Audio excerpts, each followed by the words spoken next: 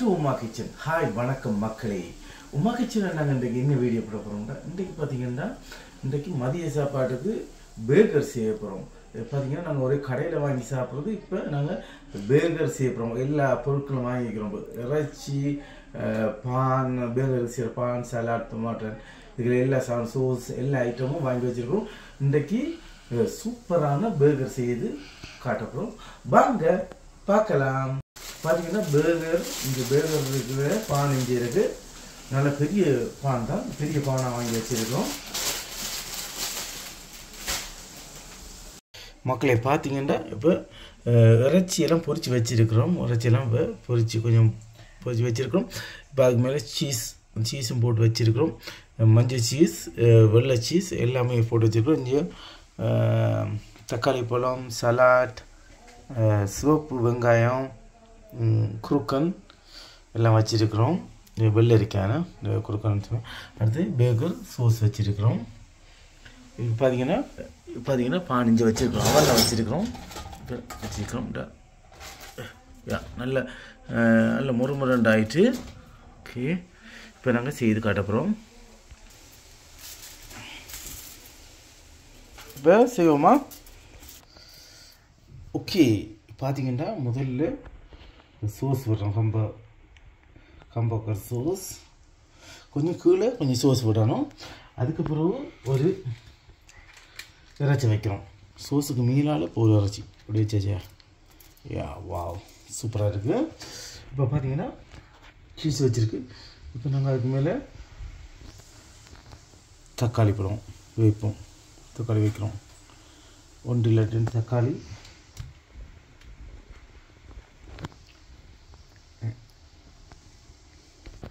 Okay இப்போ salad இப்போ சலாட்டை மேலே வைக்கிறோம்.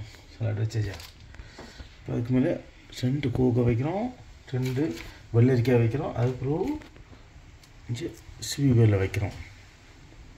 இந்த வெங்காயமா சூப்பர் இப்போ மேலால் இப்போ வச்சு அமர்த்துறோம். இங்க. வாவ் பத்தியா சீஸ் சீஸ் பேக்கர் பெரிய பேக்கர் செஞ்சாச்சு வா சூப்பராக இருக்குது பார்க்குறக்க ஓகே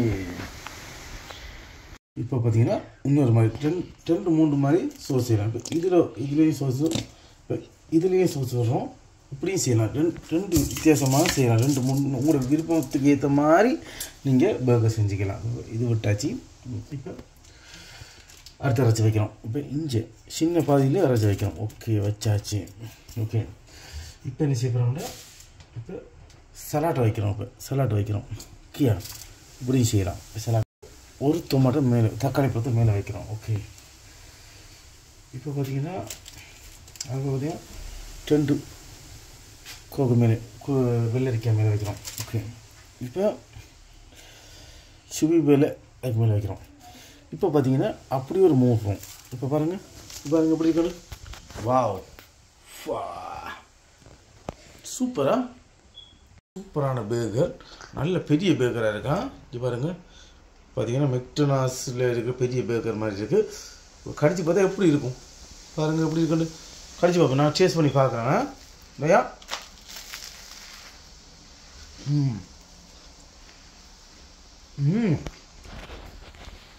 சூப்பரா? வேறு லெவல் பேக்கர் வா. அந்த மாதிரி இருக்கு. வழி ஐயோ ஓகே. பார்த்தீங்கன்னா சூப்பரான பேர்கர் செஞ்சுருக்குறோம். வேறு லெவலில் இருக்குது ஓகே நீங்களும் செஞ்சு பாருங்கள் ஓகே இந்த வீடியோ உங்களுக்கு பிடிச்சத லைக் பண்ணுங்கள் கமெண்ட் பண்ணுங்கள் ஷேர் பண்ணுங்கள் மறக்காமல் சப்ஸ்கிரைப் பண்ணுங்கள் பெல் பட்டனை கிளிக் பண்ணுங்கள் இன்னொரு சூப்பரான வீடியோ நாங்கள் உங்களுக்கு தர இருக்கிறோம். ஓகே பாய் பாய்